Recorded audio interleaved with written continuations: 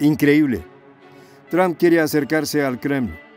Le propuso a Putin reanudar relaciones bilaterales y de amistad si gana la presidencia en el 2024.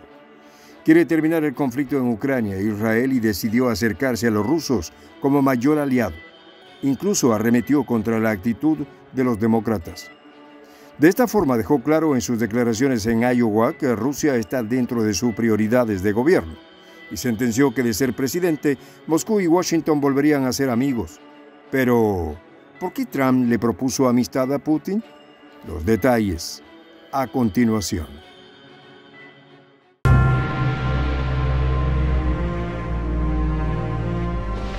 Voz de la Patria Grande. Trump le propuso amistad a Putin, así como te cuento. Y es que el candidato republicano a la presidencia de Washington en el 2024 prometió tener a Rusia como sus aliados y terminar con el conflicto en Ucrania. Al mismo tiempo declaró que reanudará el comercio recíproco entre Moscú y Occidente. Esto ha generado un golpe fulminante en la postura de los demócratas. Sin dudas, Trump quiere un acercamiento comercial y bilateral, Declaró que Putin es un buen mandatario y por tanto tiene claros objetivos para hacer crecer la economía de Moscú y fortalecer sus sistemas defensivos. Esto indica que Trump irá por estrechar los lazos que tenía durante su mandato con el Kremlin. Pero ¿cuál es la verdadera intención del republicano?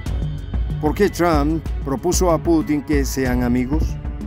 La verdad, el showman occidental da un giro en la postura de la política exterior de Washington y se contrapone a la línea de los demócratas con respecto a Moscú y a Ucrania. Por consiguiente, dejó en claro que terminará el conflicto en Europa del Este y también cerrará filas en Israel. Con estas declaraciones, Trump se acerca un poco más a la presidencia y gana adeptos a partir de la crisis universal que se ha generado por la propia postura que Occidente tiene con Kiev y Moscú. La verdad es que Trump ve a Putin como un amigo. Su política de doble rasero sorprende al Kremlin y deja a todo el mundo con la boca abierta.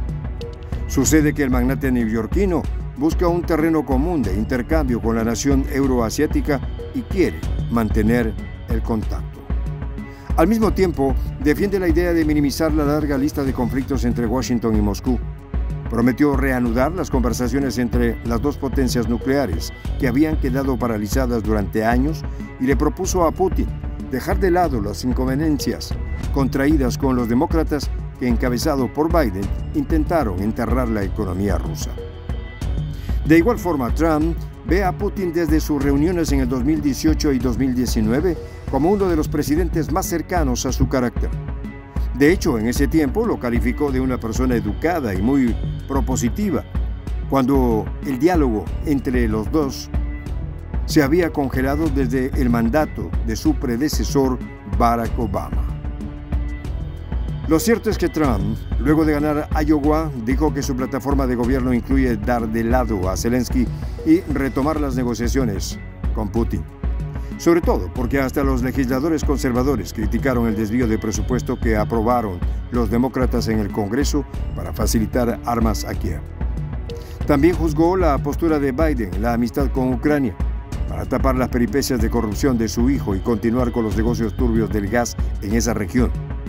Por consiguiente, remarcó el diálogo con Putin debe comenzar cuanto antes y alegó los avances durante su mandato tras las acusaciones infundadas contra Rusia por ciberataques. Incluso fue más claro en sus opiniones, pues para Trump los demócratas no superaron la derrota del 2017 y continúan viendo a Moscú como los espías cibernéticos que interfirieron en las elecciones, aun cuando esa acusación no ha podido ser demostrable. La realidad demuestra que el republicano quiere un acercamiento con el Kremlin y apostará a ello si logra vencer en las elecciones. En ese sentido, el magnate neoyorquino rechazó repetidamente la acusación de que los hackers rusos habían influido en la campaña electoral y negó de manera convincente esas afirmaciones. Al extremo que opinó que, en su momento, Vladimir Putin y él habían conversado y dejaron claro esos asuntos. Por lo que reitero, varias personas me dijeron que era Rusia. Aquí está el presidente Putin que dice que no fue Rusia. Yo solo digo que no veo razón para creer que haya sido Rusia. Sin dudas, Trump acaba de dar un giro en la postura del país tras remarcar su interés de acercarse a Putin y mantener conversaciones bilaterales. Incluso sostuvo la posibilidad de recuperar los lazos amistosos. Esto hace que los demócratas tiemblen, pues se les caerá el teatro de operaciones que tienen montado con Zelensky y sus aliados en contra de Moscú. Al mismo tiempo, Trump recordó los momentos vividos junto al presidente ruso en Helsinki 2018 y opinó, fue un buen comienzo. De hecho, le regaló un balón de fútbol al mandatario ruso y para socializar un poco más de cerca le dijo, espero que hagamos un trabajo tan bueno como ustedes cuando seamos anfitriones de la Copa Mundial 2026. La verdad es que Trump ve a Putin como un amigo todo lo contrario, la posición de Biden durante estos cuatro años.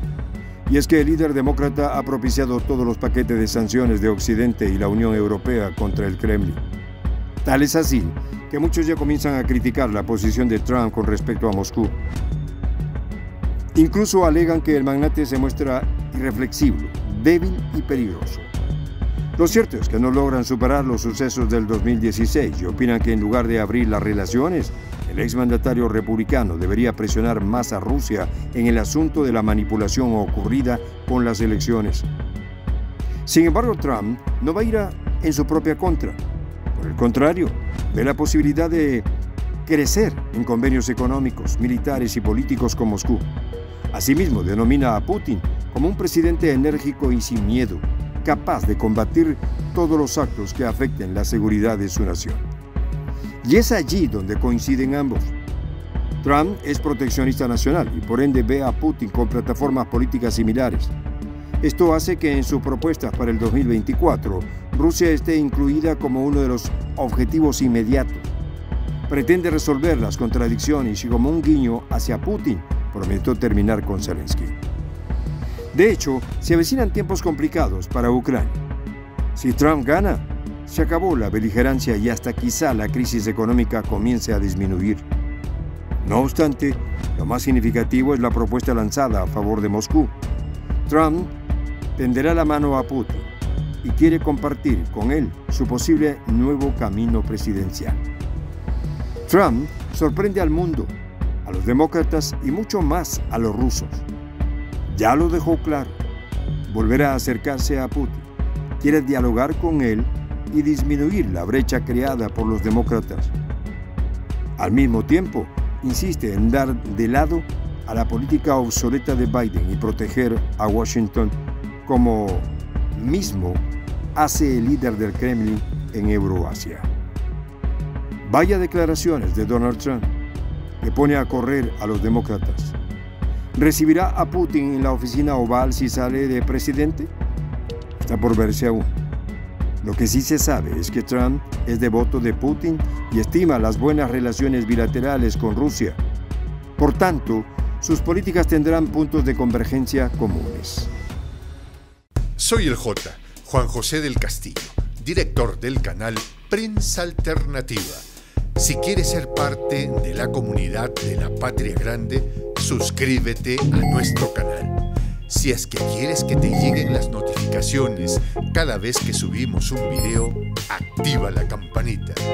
Si quieres apoyar a nuestro canal económicamente, puedes hacerlo a través de PayPal. El enlace está en la descripción del video.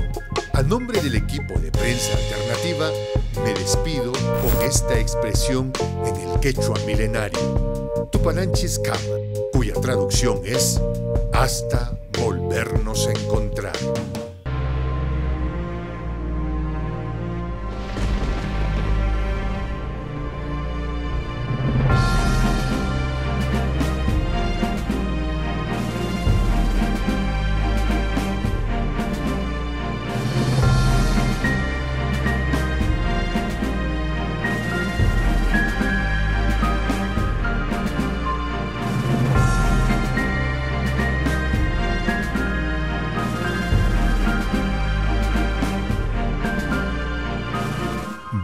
De la Patria Grande.